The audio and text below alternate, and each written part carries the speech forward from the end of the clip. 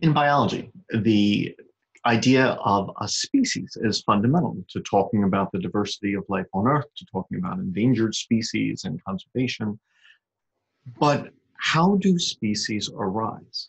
What is a species? It turns out that's a messy question. And uh, there is a lot uh, to this.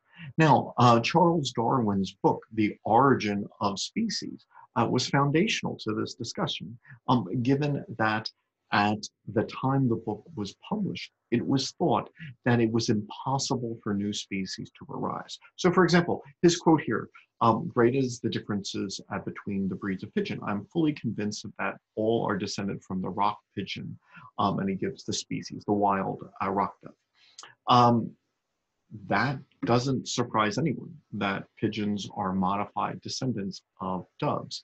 But he had to make that argument in the book, The Origin of Species. It was thought that all of the species which currently existed had uh, that, that currently exist had always existed, going back to the beginning of life on Earth, and that no new species could ever arise.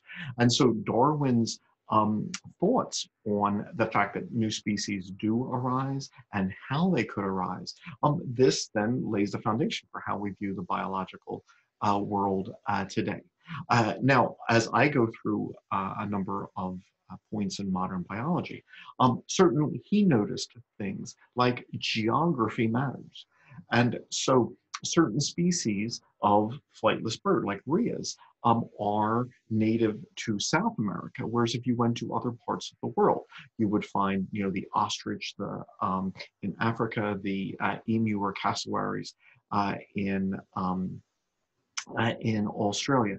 When he went to islands like the uh, Galapagos Islands, uh, he saw that there were species native uh, to uh, these islands. And so uh, the idea that geography plays an important role, that was something that he noticed early on. Um, the idea that uh, the term species is a bit arbitrary where do you draw the line, say, between dog and wolf?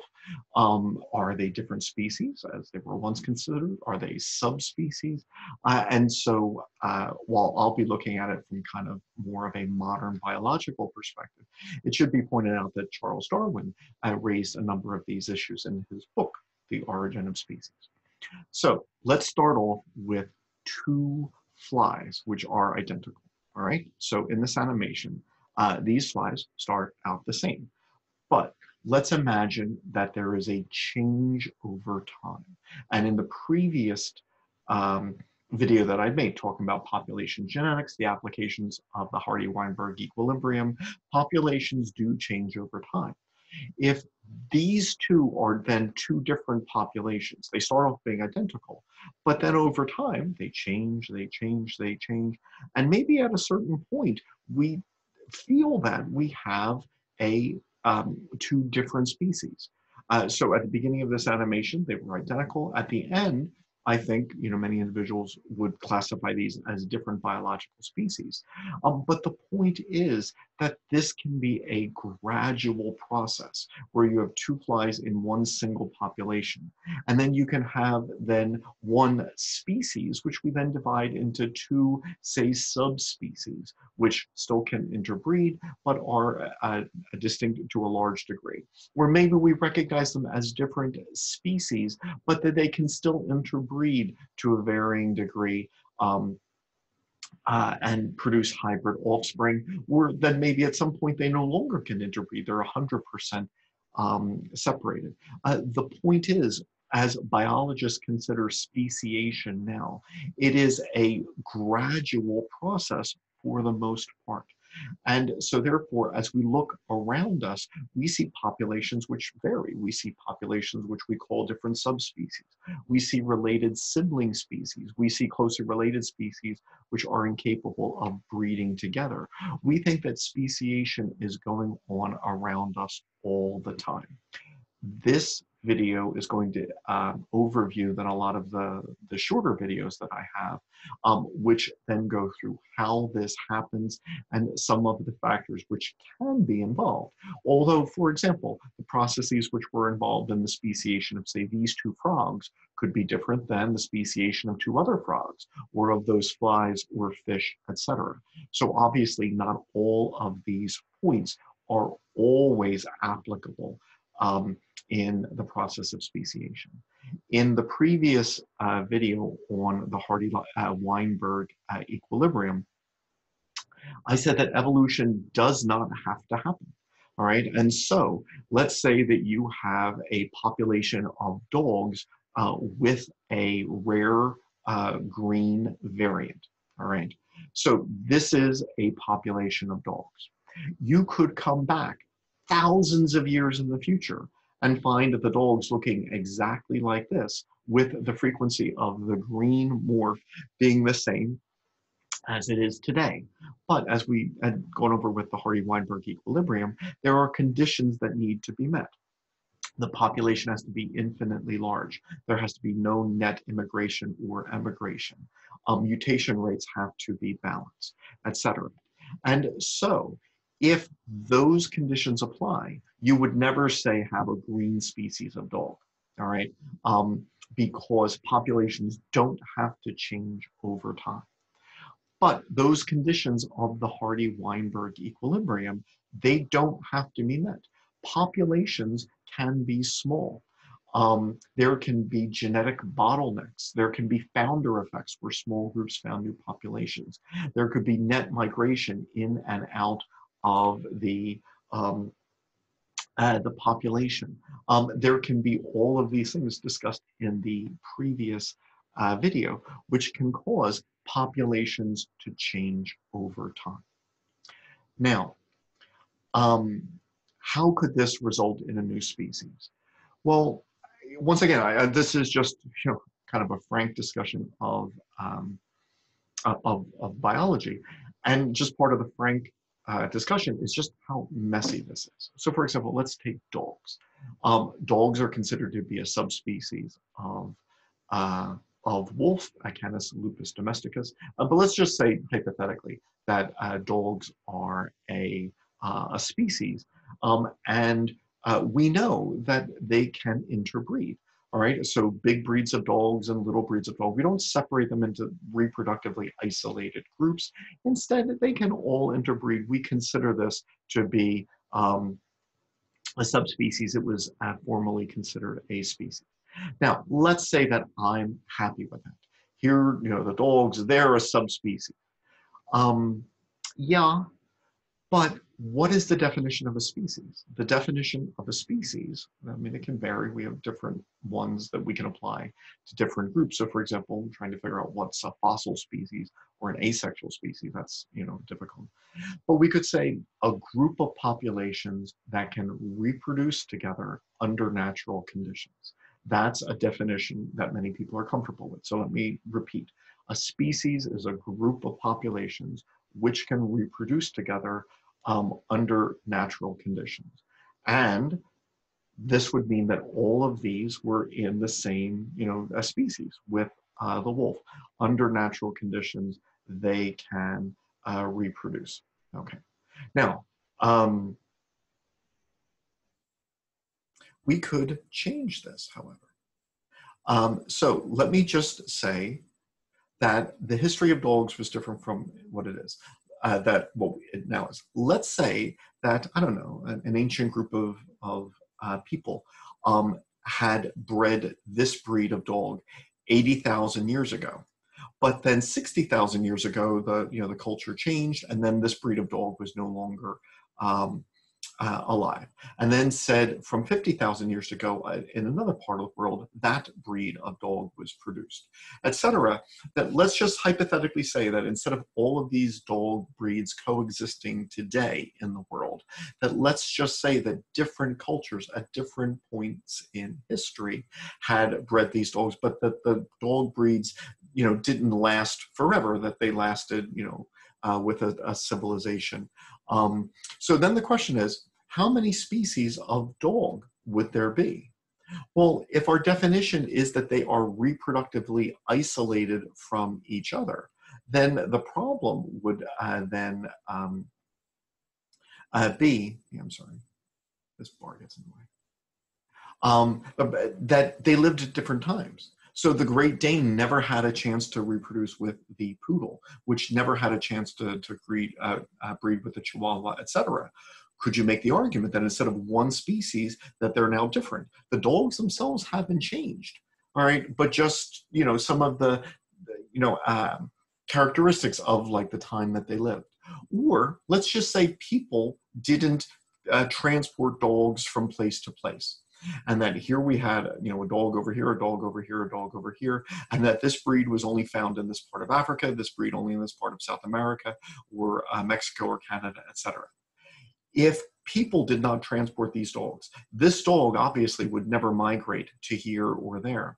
And so, could we then make the argument that they would then be reproductively isolated because they would never, under natural conditions, interbreed? In that case, could we make the argument that the very same dogs were now one, um, instead of being one species, were now multiple species? What would happen if, let's just say, um, there were now differences uh, where there were some chromosomal differences uh, between uh, the dogs, which would mean that poodles could breed among themselves, um, but they could no longer uh, produce fertile offspring with a group that had a different uh, number of chromosomes. Would that then make them a new species? What happens if one dog breed only mated in fall while another one only mated in spring? They would then be reproductively isolated. They would never interbreed. All right. What happens if one came out at night and one came out in the day? The point is, if you just modified some of the aspects of dog physiology, you could make the argument instead of having one big variable species, that now you would have multiple species. It's messy. Now, as I go through how messy this is, I like to from time to time just remind us of ourselves. I mean, it's great to think about other species, but everything that you know we just you know are, uh, uh, that you know applies in this applies to humans as well. We are a biological species, and there have been other species of humans, Homo habilis, Homo neanderthalis, you know, um, uh, etc. Um, and so, how did how do new species arise? Well, as with those dogs, one of the keys is to be isolated. So you notice that you know one group was isolated in time, or isolated by geography, or isolated by um, uh, the time uh, in which uh, they breeded and uh, they bred. Uh, and so if we have all of these different uh, human species, some of which you know um, you know live in different parts of uh, the world or at different uh, times um, with Australopithecines. Um, we could then uh, point out that one of the things that often plays a role in speciation is geographic separation.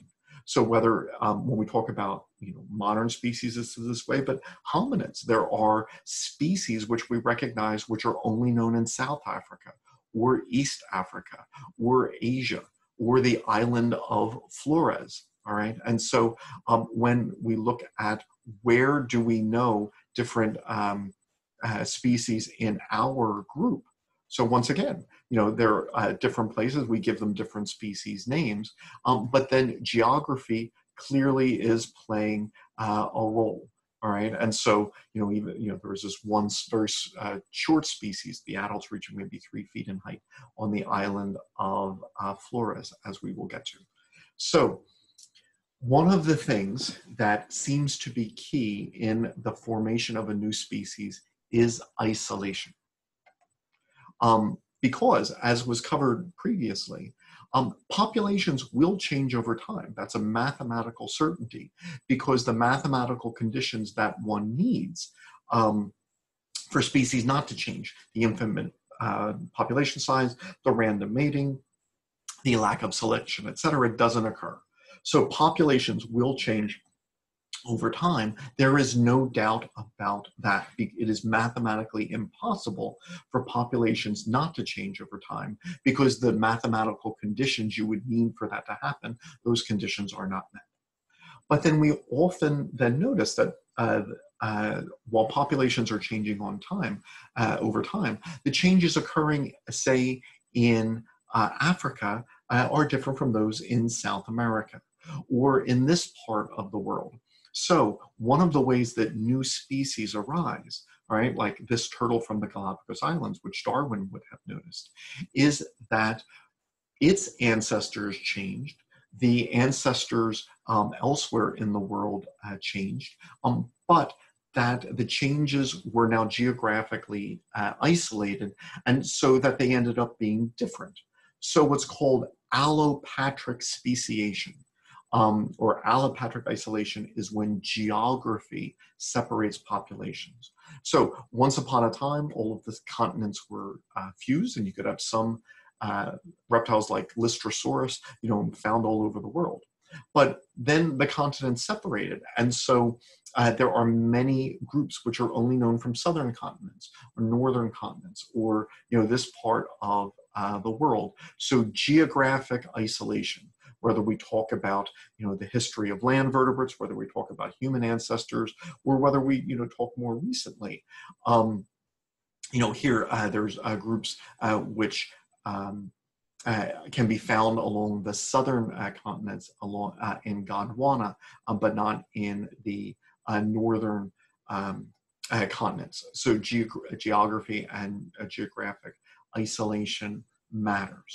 So um, the separation of different parts of the world, the separation of say one region because there's a mountain range that splits two habitats, or you know a big river or an island um, these are important. And if you were to ask why are there so many different groups of birds alive today, um, we'll notice as we run through the different um, uh, groups that some only known, some bird families, all of the species, known only in New Zealand or New Zealand and Australia, or some are, uh, you know, uh, only in the old world or primarily in the new world. So geography matters. And um, if we're asking what could separate two populations so that the changes in population one is different from uh, the changes in population two to the point where now they may have trouble uh, reproducing together, uh, geography can play a role. Oceans, mountains, rivers, and this is what's known as allopatric isolation. It is also possible for organisms to be in the same general geographic region, but still be isolated. This then is what's known as sympatric isolation. So once again, if two populations are in the same general area, so it's not like one is North America, one is South America, or one is mainland and one is continent. They could also, they could both be, say, the state of New York. They could both be Brazil. Um, so uh, they're in the same geographic region, but they're still isolated. This is what's known as sympatric isolation, and there are different classes. Um, I'll give multiple examples as I go on, but let me just kind of begin with, you know, human ancestors. We think our ancestors, one important step was that um, there were apes living in uh, East and Central Africa, um, and that while some still stayed in trees, all right, uh, others were now spending more time on the ground you know, in this they were adapting to tougher material in their diets, etc. Um, but this is what would be called habitat isolation. As two groups then became more and more adapted to do different habitats, one in the trees and one um, uh, out of uh, the trees, then uh, they would uh, then be less likely to reproduce together, would be more isolated from each other um, because of what's called habitat uh, isolation. Um, there are other things which could isolate uh, individuals. So for example, uh, mechanical isolation. Uh, for example, in arthropods, it's often seen that two you know, populations which might be able to interbreed hypothetically can't simply because their genitalia don't fit. All right, so that the changes in their body form and shape have included such that they're just mechanically unable to reproduce. So in arthropods, one can see this. Um, but then when uh, one considers our group, once again asks, you know, in human ancestry, might mechanical isolation have played some role in the separation of our ancestors from uh, related uh, populations. Um, one notes a couple of things. Uh, one is there are big differences between, say, the uh, hips of chimpanzees versus the hips of Australopithecines and then later Homo.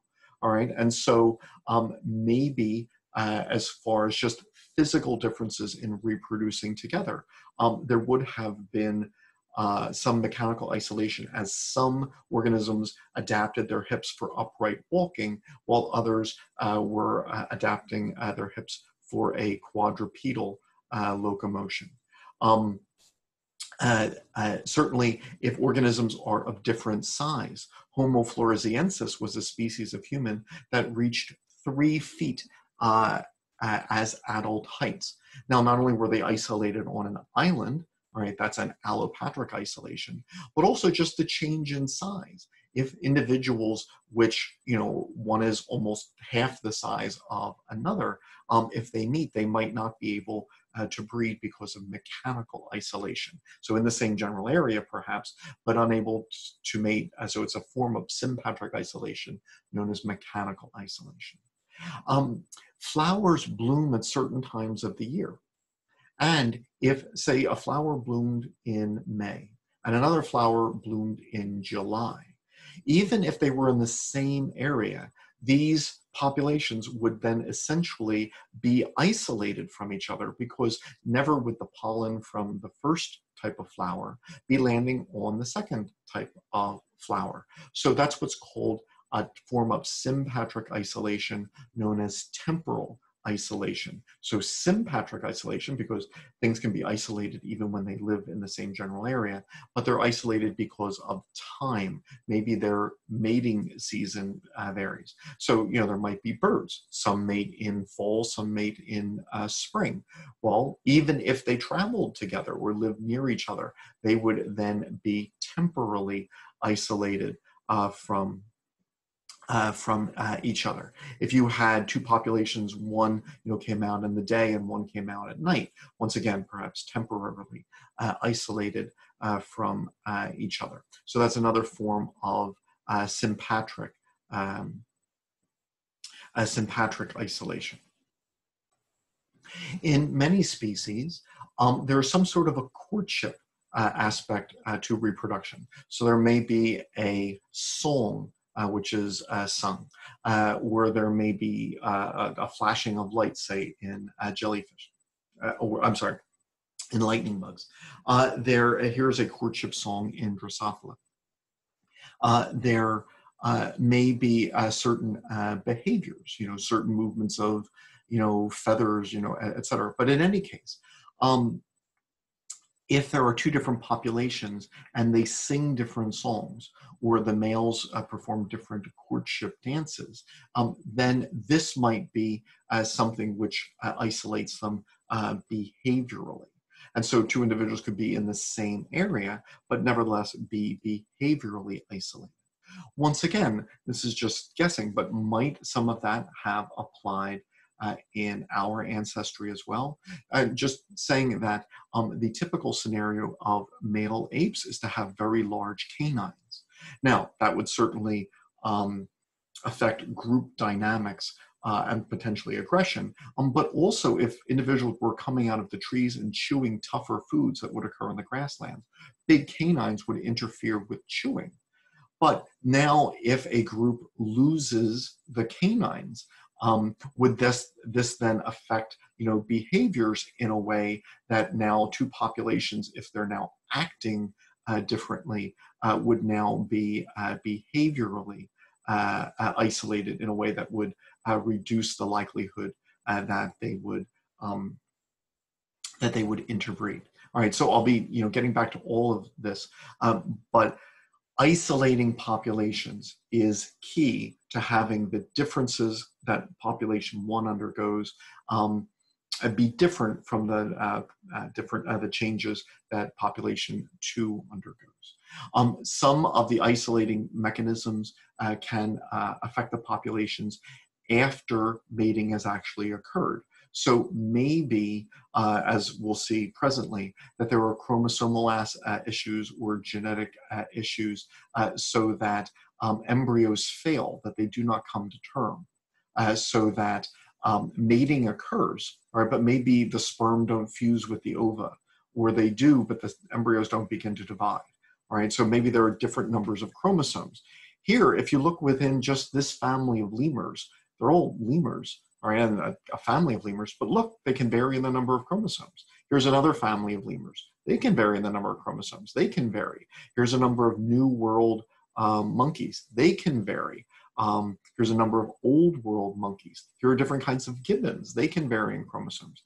And so even after, say, sperm and ova fuse, um, then embryos might fail because of other uh, considerations like numbers of um, uh, of chromosomes. Once again, this might be relevant to our lineage because if you compare uh, the human genome to that of chimps, gorillas, and orangutans, we have a really big chromosome too, um, where chimps and orangutans and uh, gorillas don't.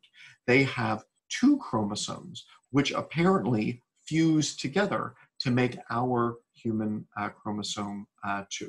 Okay, so before I start to apply this, I just wanted uh, to point out that isolation is key. So if you ask how could one species become two species, well, some sort of an isolating mechanism uh, is uh, is key, and that could be geography in allopatric um, speciation, but it could also be differences in behavior, differences in genitalia, which don't fit uh, well uh, together. Uh, it could be differences in habitat, differences in the timing of mating, uh, etc.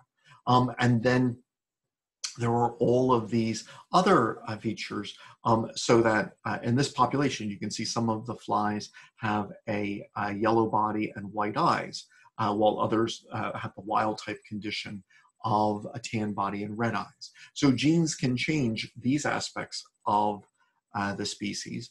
Um, but there are actually genes which are known to interfere with the ability to mate with other populations. So why can't Drosophila melanogaster produce viable offspring with um, Drosophila simulans? There are actually genes which are known that you know this gene affects body color, this gene affects eye color, this gene affects the likelihood that hybrids can mate the hybrids uh, can uh, survive together. Okay, so the world is full of species. And if one were to just consider all of the frogs, say, of you know Paraguay, um, there are far more frogs in, in Paraguay than there are in the United States. Look at all of these species. There are so many species of insect. There are so many species of a nematode worm, etc. Um, why? All right. So how does um, uh, how does this uh, happen? Well, once again, um, as discussed with the Hardy-Weinberg equilibrium, populations will change over time. They will, all right, because the infinite population size, the lack of selection, the lack of, you know, um, or, or I'm sorry, non-random mating and other things, all of the things that you would need for populations not to change don't occur. So populations will change over time all right? Their genes will change. Their anatomical. Um, uh, uh, uh, conditions will change uh, etc and some of these changes might affect say hair color or blood type and really have no you know effect on speciation. Um, but then some of these uh, then may um, contribute. Uh, once again uh, this could happen in one population or uh, over time, or it could happen in two populations which are now separated from each other. So they could be separated uh, uh, allopatrically if geography separates them, or they could be separated sympatrically if they live in different habitats, they have different mating behaviors, they mate at different times, they have mechanical isolation. All of this would be things which would separate them prior to uh, mating. But then there could also be things that uh, would happen after uh, mating, like um, the zygotes failing, etc. Now, um, I have some videos where you know I, I, pursue possibilities here, but look at all of these human species. I mean, it's interesting to talk about frogs or birds or fish, but there are many you know human species. This applied to us as well. So at some point, our ancestors produced multiple species. And so all of these principles in uh, speciation, uh, these then are um, of interest as well. And it is quite likely that allopatric isolation, habitat isolation, and others then played a role uh, in our uh, ancestry as well.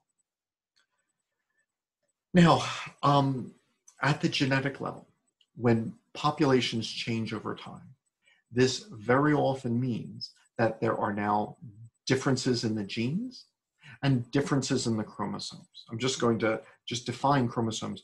Um, chromosomes can actually be visibly different in structure. All right, so there are lots of different kinds of mutations um, that then become typical of a population. So just like some populations of birds have a different color than, uh, than normal, some populations of birds have a slightly different um, aspect of their chromosomes. Uh, and so, for example, there can be deletions, excuse me, where some parts are lost. There can be duplications where there is now you know double the amount of uh, genetic uh, information in some sections. There can be inversions where some uh, portions of chromosomes uh, flip upside down. There could be translocations where a piece of one chromosome is then uh, attached to another chromosome. And these happen frequently so, for example, it's known in humans that you know some people have a deletion chromosome, some people have an uh, inversion. Uh, sometimes this you know causes a clinical con- condition that they then seek uh, help for. Sometimes this is a problem in um, in causing infertility. Um, but it arises in humans. And when we compare one population to another, um, very often it is differences in chromosomes uh, which are making it hard for two populations then to reproduce together. So uh, there um, are quite uh, often um, differences uh, in chromosomes. And so when two populations try to uh, mate, uh, a problem, say, for example, um, with uh, horses and uh, donkeys, um, when they try to uh, reproduce, that uh, their offspring, while mules are alive, they're usually sterile. And that's because their parents have different numbers of chromosomes. And if your parents have different numbers of chromosomes, that means that the hybrid offspring might have too few chromosomes, too many, and this can affect gene dosage. It can affect how much gene product you make. Um, now, obviously, that can affect, you know, like an entire chromosome, but it can also then be the case if, you know, one part of one chromosome is deleted or duplicated. Now, the hybrid offspring would then have too many genes, too few genes, etc. Um, inversions uh, often make it hard uh, to reproduce because then uh, hybrids uh, very often then are um, are sterile or may fa- uh, fail to uh, develop because of the problems which arise when chromosomes cross over. So notice that um, here is an individual who has two chromosomes. Maybe the mother's population has the bands oriented this way, the father's um, uh, population has their chromosomal bands oriented this way. Uh, when uh, this individual then, having all the right genes, they have chromosomes with all the same genes, but because an inversion has occurred, whenever then they try to make ova or sperm, then very often some of their sperm um, have uh, duplications, too many gene sections, or deletions. Or they could, um, in a different uh, scenario, have uh, chromosomes without uh, a centromere uh, or uh, chromosomes with two centromeres. Um, and so populations will change over time. But apparently, one of the big changes which leads to speciation are changes in chromosomes. And so um, uh, it is just normal in populations, including humans, that variations in, in chromosome number uh, arise, in variations in uh, chromosome structure arise. Uh, but when we compare one um, uh, one species to a neck uh, to a, a, closely related species, we very often see that um, they uh, have differences of chromosomes, uh, which are then making them separate because uh, uh, they have trouble reproducing together. So once again, these chromosomes they have the same genes, but there is an inversion, and if um, individuals who now have chromosomes uh, which differ in this inversion, when this individual tries to make sex cells, sperm and ova, a lot of them don't work very well. One final type of chromosomal abnormality um, is that uh, you can have polyploid individuals which have extra chromosomes, say two sperm fertilize an ovum, or two pollen, uh, pollen grains fertilize an egg. You would end up with extra chromosomes. Now, um, although uh, in many animals, uh, this is typically fatal. In humans, this is typically fatal, having a whole other uh, set, although uh, with rare uh, frequency, individuals uh, can be born alive um, briefly, say if they have three copies of each chromosome. We know in nature it's common enough that you have closely related species um, where clearly a polyploid event has occurred. So in this uh, tree frog, there are 24 chromosomes in diploid cells, while in this tree frog, there are 48 chromosomes in diploid cells. And so um, here's a chromosomal uh, accident, um, uh, a polyploidy, uh, which uh, can lead to speciation. Whereas now, if there's an accident, and one of the you know resulting populations then has you know uh, the wrong number of uh, chromosomes, then um, uh, it's hard for them to reproduce together. Okay. So I'd like to kind of you know kind of start to, to bring this together and, and get to the point where new species uh, arise. So let's say that there's a population of flies and that the population changes over time. Fine, we expect that that will happen. But if parts of the population are isolated, maybe by geography or behavior or habitat or something, then this population could change over time in a way different from this population. And so then you could ask, well, they've been different for a while. Should they have sex? All right. Is it a problem if they try to mate together?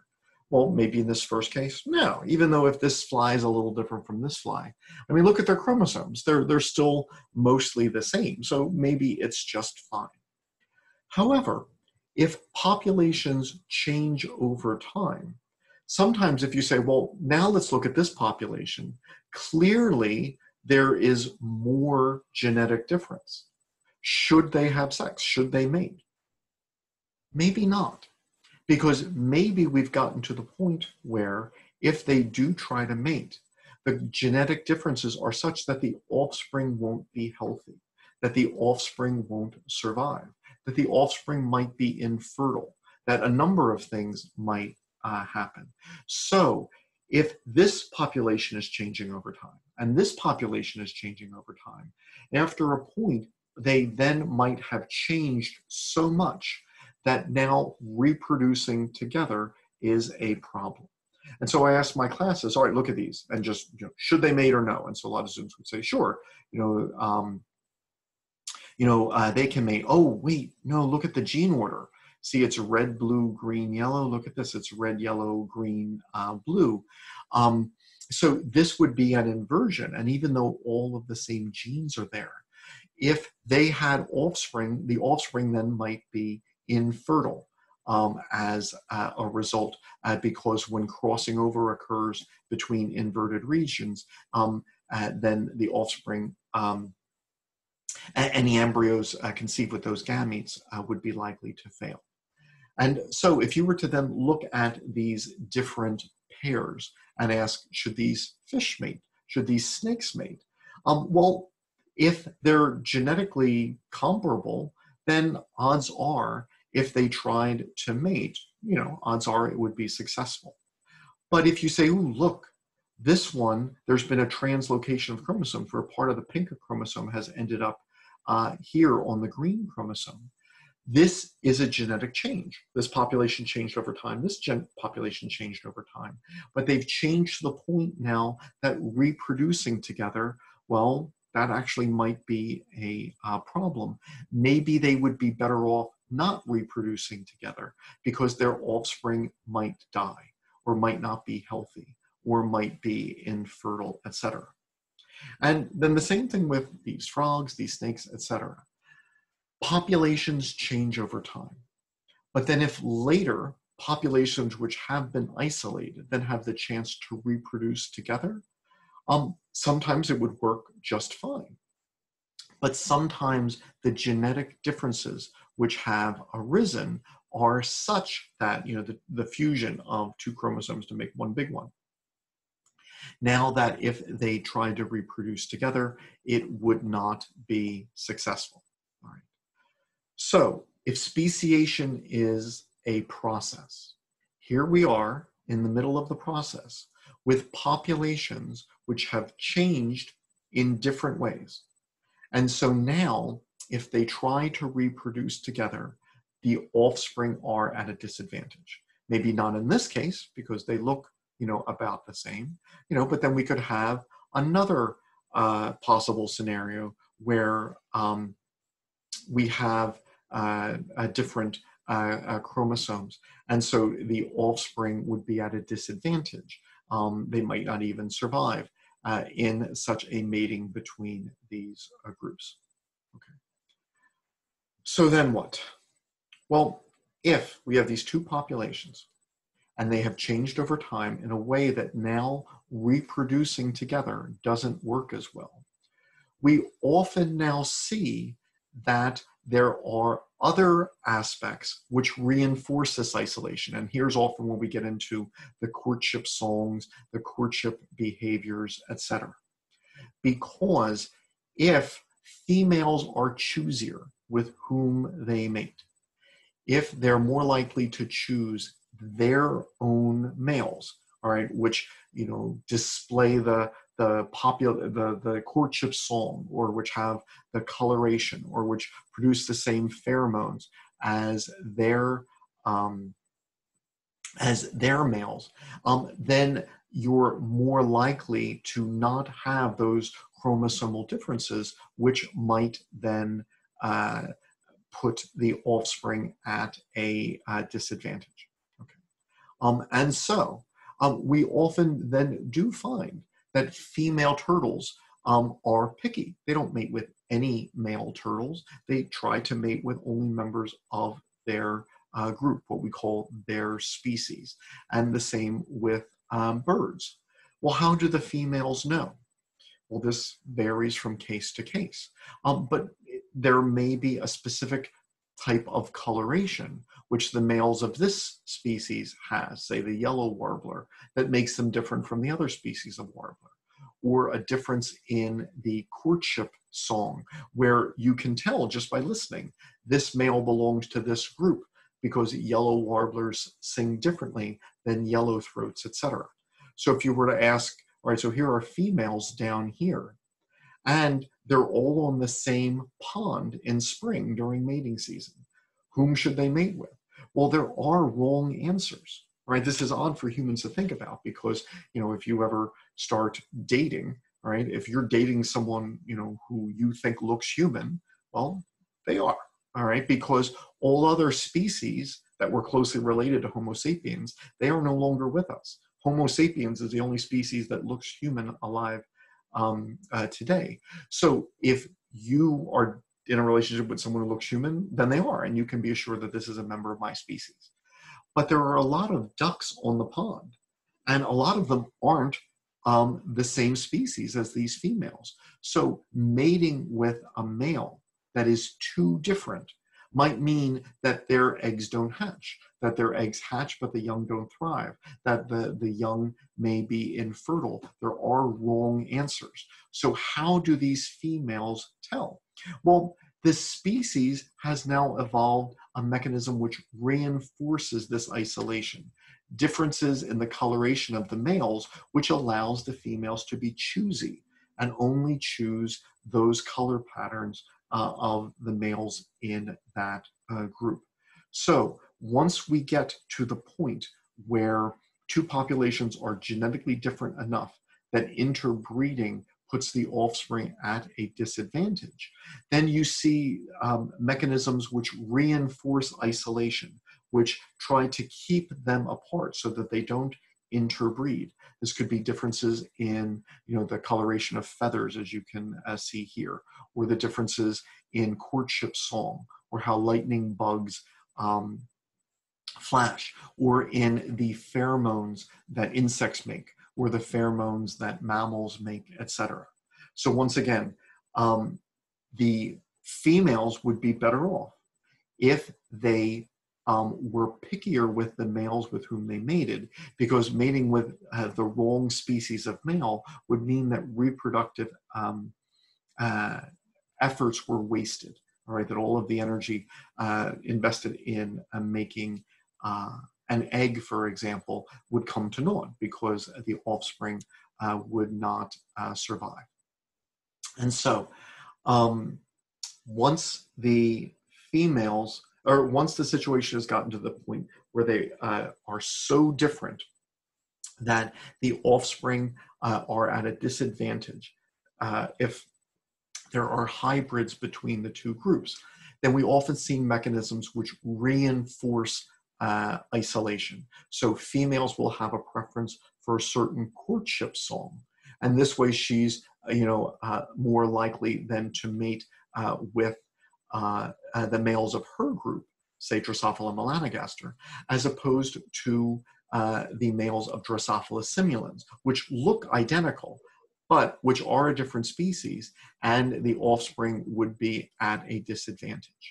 Um, so courtship song is obviously an auditory signal, um, but there can be different pheromones, different chemicals which allow uh, the females uh, to distinguish. So mammals make different pheromones, insects make different pheromones. And so this could then be something which allows uh, the females uh, to uh, decide. This is now reinforcing um, reinforcing isolation, where uh, as uh, differences accumulate in the two different populations, a difference in pheromones or courtship song is making it less likely that they will even mate together. This is a pre-zygotic isolation, right? So they're not even likely to mate and have a zygote um, because the females don't like the male's courtship song or pheromones, etc.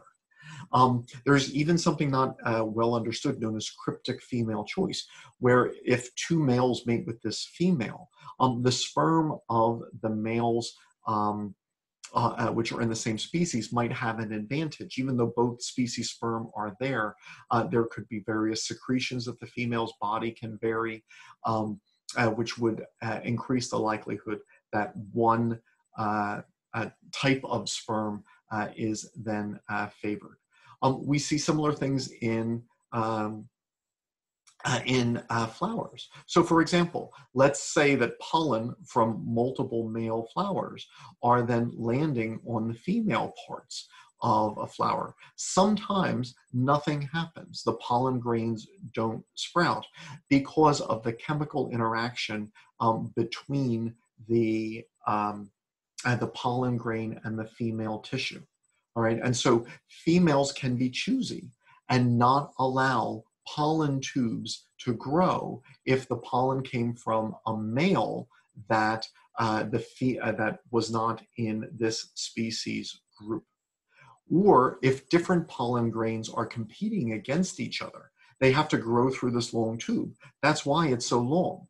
Right, so the female flower is making the male pollen compete against other male pollen with an advantage often going to the conspecific one. It will grow more easily through the, uh, the female tissue as opposed to the pollen from a different um, uh, species. And so uh, this is what's known as a pre-zygotic uh, uh, mechanism reinforcing isolation because now you're making it less likely that a different flower pollinate this so there won't even be a zygote um, simply because of uh, of these uh, mechanisms.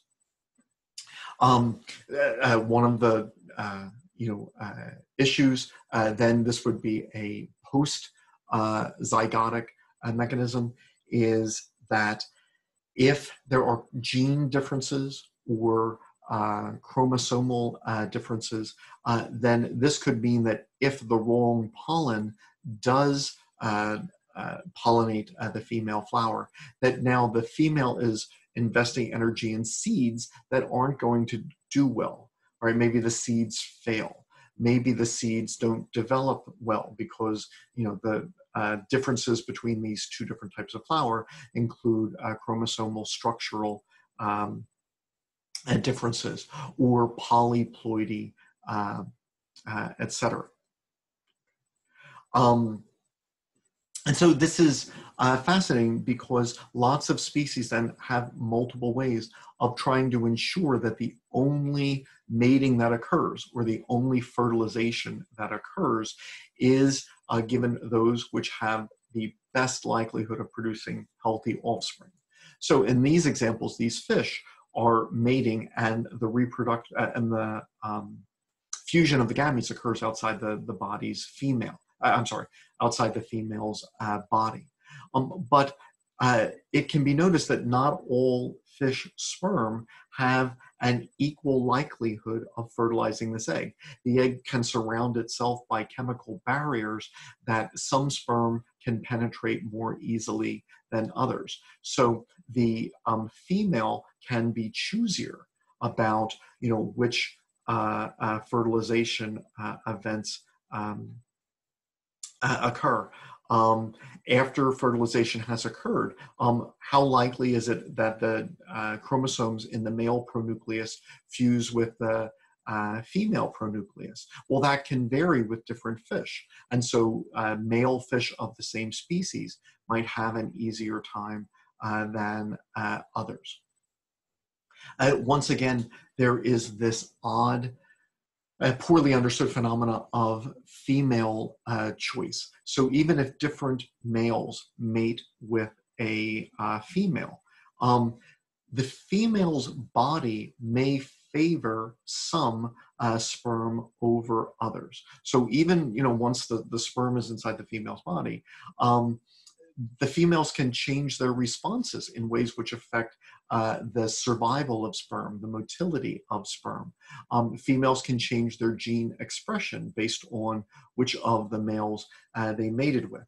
Uh, they could change their reproductive secretions. They could modify uh, the timing of uh, their gamete uh, production, the release of their eggs. Females can store sperm, displace sperm, eject sperm. So even after mating has occurred, um, cryptic female choice allows um, for uh, females to be choosy and thus favor males of one population over um, uh, over uh, another. Now, maybe these changes are occurring very gradually, all right? And when we look at, you know, what we think is the evolution of, of new species, say over the fossil record, you know, we often you see very, very gradual changes. Uh, we call this gradualism. Um, but maybe some of these changes occur uh, in an instant or much quicker. So for example, if there was a genetic accident which made double the number of chromosomes, that would be something that happens in one generation. It wouldn't be a gradual change. You would have, in essence, created a new species with one polyploid event. Um, another thing that we see when we consider fossils is that instead of seeing things uh, change um, very gradually, there are periods of the fossil record where there is a mass extinction, as there are horrible uh, volcanic eruptions, you know, in the Siberian traps, for example, which ended the Permian period uh, or when a meteorite falls uh, from uh, the sky at the end of the Cretaceous period. And so some of the things which uh, result in speciation um, are gradual events, and so speciation can be a gradual process. Um, but then also, whether it be sudden genetic events uh, or uh, sudden events in the fossil record, this could then um, result in what's called punctuated equilibrium, where there would be a period of rapid change followed by you know a period then of stasis. So, as you know, start to wind down. Um, let's say that now we have uh, two populations which we recognize as different species, all right? That they are reproductively isolated, they live in different places of the world. There's other things that reinforce their isolation, like differences in courtship song or in pheromones or whatever. So we recognize them as different species. But that doesn't mean that they still can't reproduce at least a little, all right? So um, domestic dogs still interbreed a little bit with wolves. It doesn't happen often, but it, it can happen. But then there can be uh, uh, some uh, hybridization between other uh, species of dog uh, as uh, well.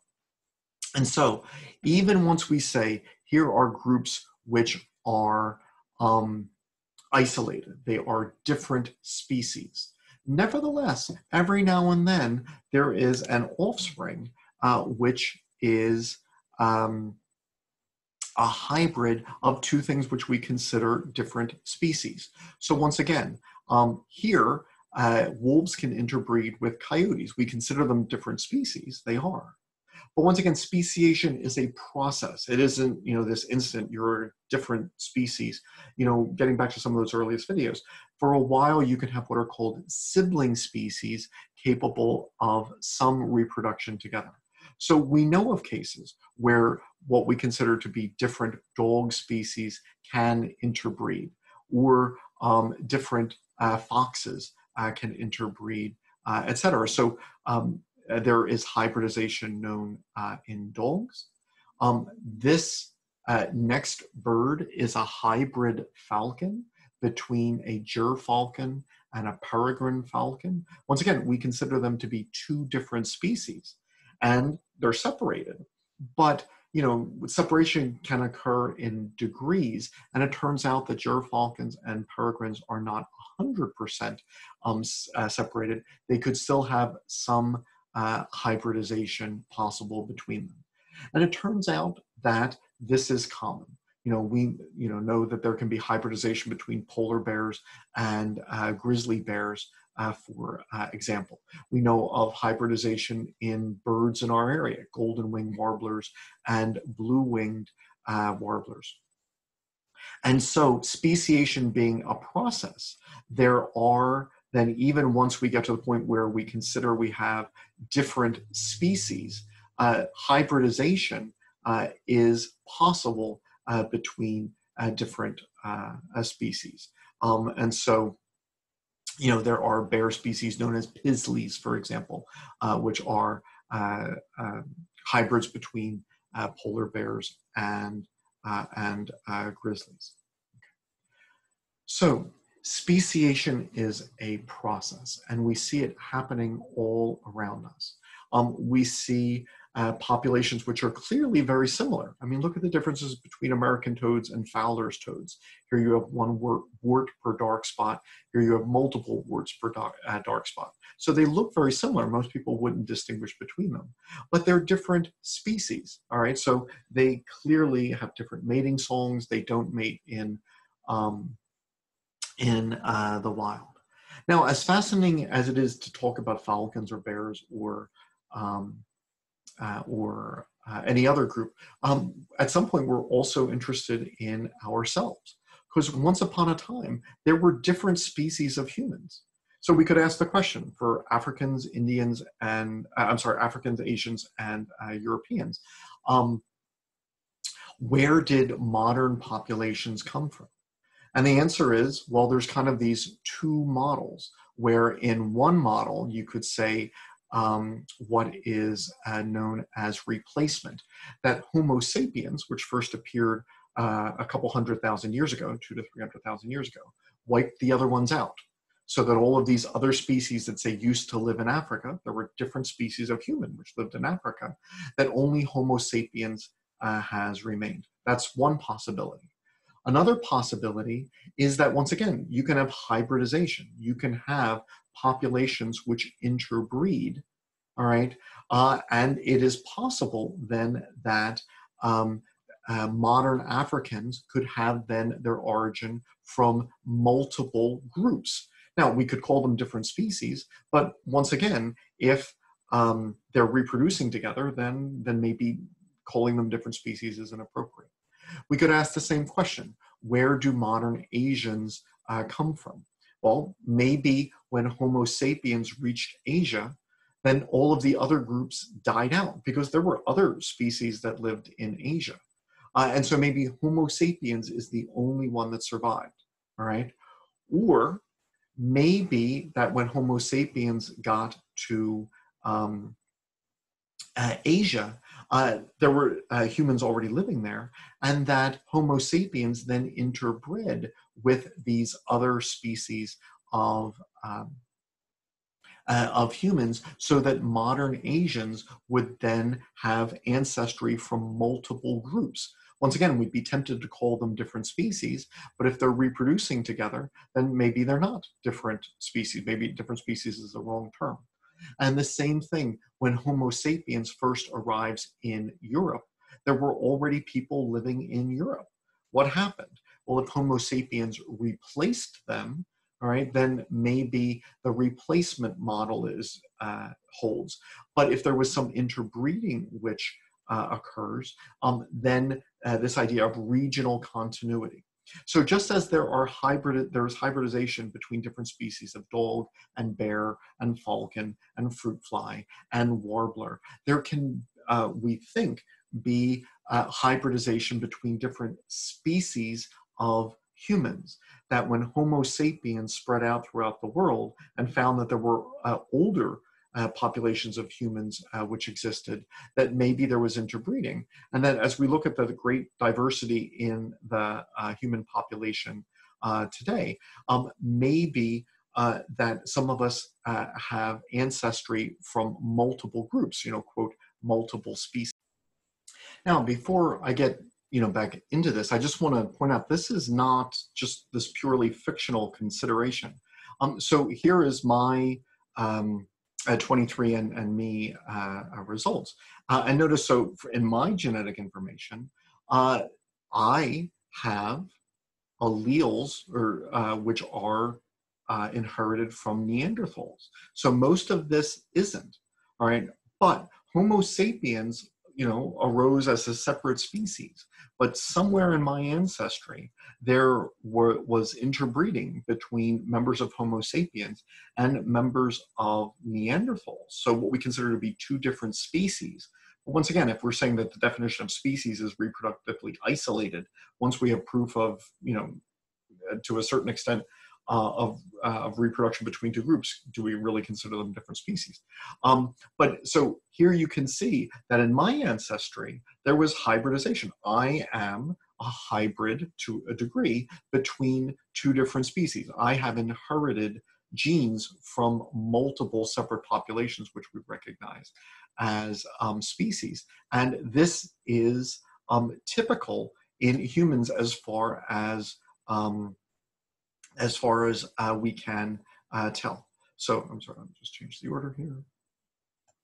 So uh, just going back to what I had said about the replacement and continuity models, um, Homo sapiens sapiens, species that look like us, you know, with you know, this nice flat forehead, the absence of a, of a brow ridge, um, uh, which was different from uh, earlier groups of humans uh, whose skulls tended to be low and long with a more prominent brow ridge.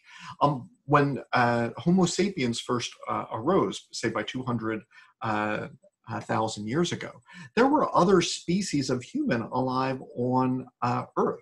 So there were Homo heidelbergensis, Homo neanderthalis, a group called the Denisovans in Central Asia, Homo floresiensis in uh, the island of Flores, Homo erectus still in Java until fairly recently, and then genetic evidence of even a couple of lineages which we haven't um, discovered um, yet. So when Homo sapiens began to spread through the world, there were different species of humans. And we know that there was some hybridization. Now, we can do two tests because when we think about fossils, um, we only have three types of human DNA that we can test for. Homo sapiens, you know, the modern uh, species, but there has also been DNA isolated from uh, Neanderthals, uh, Homo neanderthalis, and these Denisovans from Central Asia. And so we could go around the world and find people whose you know who live in certain parts of the world and say, do you have these three types of human DNA that we can test for? Now, maybe someday we'll find more fossils and can test for more, but up until now, these are these three. So if we asked a modern African which of these three do you have, we would observe that 100% of their DNA is Homo sapiens, and they do not have any Neanderthal or Denisovan DNA. If we were to look at the average European, 1 or 2% of their DNA would be Neanderthal, but none would be Denisovan. So the average European now has gotten genes from two species, uh, Homo sapiens, the majority, but also a little from the Homo neanderthalis. Now, Asia is a huge continent, and if we were to then sample different populations from Asia, we might find one Asian with maybe one or maybe two, probably closer to one of their DNA Neanderthal, but maybe one percent of their DNA Denisovan. All right, so here's three separate human groups, and in some uh, populations in Asia, um, such as in um, uh, uh, Southeast uh, Asia and Indonesia and uh, um, and New Guinea. Uh, one could find uh, now uh, Denisovan DNA representing, you know, five percent or more of the uh, of the genome. So clearly, just as we can see hybridization between two different uh, you know, types of, of dog, which we call different species, or different bears, or different, you know, uh, birds. Um, there was hybridization between two different, you know, uh, multiple groups of humans, and some of us have DNA from more than one of these groups. So I have a silly little thing here where uh, two a Neanderthal and uh, a Homo sapiens are uh, reciting some uh, some Shakespeare. But getting back to that question of in Romeo and Juliet, you had two different groups. And the question was, in essence, you know, are they should they stay separate, or can there, you know, be, um, you know, a marriage between the two groups? Well, at some point, the same question then arose between Neanderthals and Homo sapiens, or between Homo sapiens and Denisovans, where once, you know, there were individuals who decided that they would um, have a partner of another uh, species. Um, and so therefore, just the whole word species is messy, all right, because it's a process. We see populations which are starting to accumulate changes, and maybe we consider them subspecies. But then we see things, uh, groups which we actually call different species, um, but they still are capable of hybridization.